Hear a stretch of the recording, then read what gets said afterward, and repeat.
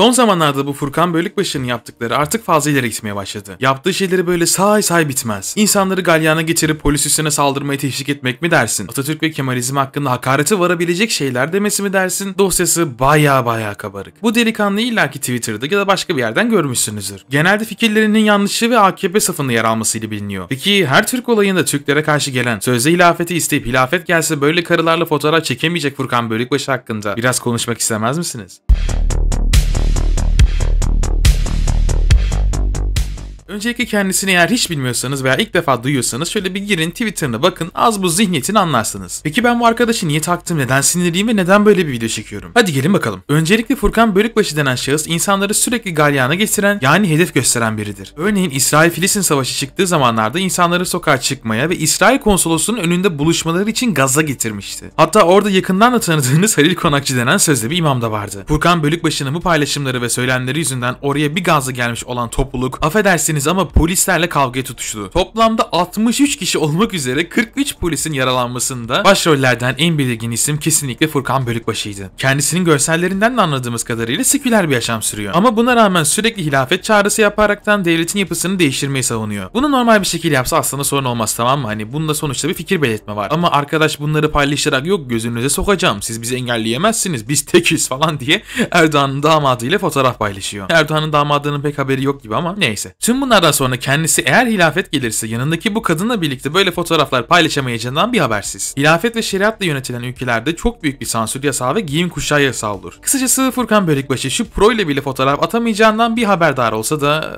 bir dakika bir dakika. Sizce gerçekten bir haberdar mı? Yok yanılıyorsunuz. Bunu kendisi bizden de iyi biliyor. Lakin şunu da farkında. Ne kadar böyle atıp tutsa da düzen değişmeyecek. Yani daha doğrusu değiştiremeyeceksiniz. O yüzden çevresine kendisini yanlış olabilecek ve güç sağlayabilecek insanları toplayaraktan rahat yaşam sürmeyi hedefliyor. Peki madem Furkan Bölükbaşı anlattığın kadar kötü birisi bu adam niye tutuklanmıyor? Heh bu da çok güzel bir soruydu. Güzel sordun. Ortaya atılan ve kanıtları olan büyük bir iddiamız var. Kendisinin AKP içerisinde bir akrabası mevcutmuş. Kendisi hatta Ankara Keçiören içerisinde yetkili biriymiş sanırım. İsmi de Fatma Köse Bölükbaşı. Bu atılan iddialar ne kadar gerçektir ve akrabalıkları var mıdır bilmem ama durum mevcutsa neden içeri alınmadığını kanıtlar nitelikte. Şimdi gelelim videonun en büyük kısmına. Furkan Bölükbaşı'nın geçmişte attığı post ve paylaşımları derlemişler bir güzel. Bu gördüğünüz fotoğraflarda büyük bir selisede Atatürk ve Kemalizm düşünceleri bulunuyor. Furkan Bölükbaşı açık açık hem Atatürk'le dalga geçiyor hem de Kemalizmle. Üstüne yaptığı yorumlar affedersiniz ama hakaret seviyesine kadar ulaşmış. Aynen Furkan. İnsanlar provokatör ama sen değilsin. Bugün evinde mışıl mışıl uyumanı sağlayan adam hakkında ileri geri konuşabiliyorsun. Ama sorarsan ülkede adalet sistemi muhalefet için çalışıyor.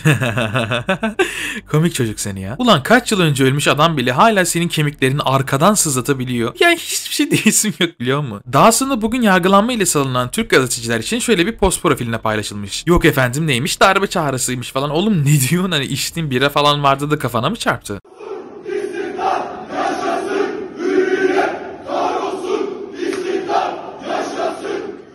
Yaşasın hürriyet, kahrolsun istibdat demenin neresi darbedir? İstibdat tek yöneticinin bulunduğu baskıcı düzen demek tamam mı? Sen nasıl slogan atılmasını veya hilafet çağrısını doğru buluyorsan bu adamların yaptığı şey de senin itiğine göre doğru. Ama yok Furkan Bölük başının istediği olacak ya.